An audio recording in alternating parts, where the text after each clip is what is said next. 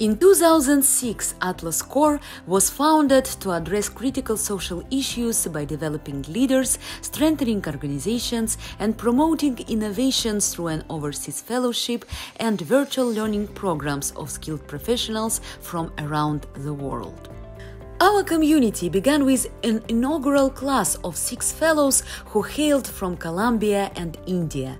In 15 years, Atlas Corps has empowered 1,000 leaders from 104 countries, partnered with 300 host organizations, US embassies, and our network of supporters to multiply impact domestically and worldwide. Atlas Corps leaders represent the richness of diversity, inclusion, and cultural awareness.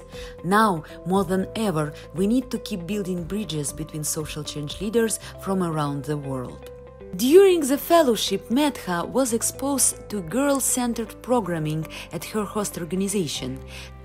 She translated this approach in her country and founded visible impact on unleashing the social and economic leadership of girls, women, and youth. Last year, Atlas Corps alum Nino and his organization El Space partnered with the Ministry of Health in Tunisia to respond to the COVID 19 pandemic. Nina gathered makers with 3D printers to provide needed face shields for Tunisian hospitals.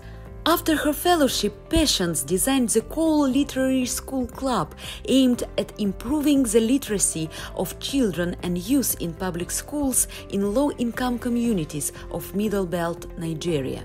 During our 15th anniversary year, Atlas Corps continues to engage social change leaders as fellows and virtual scholars.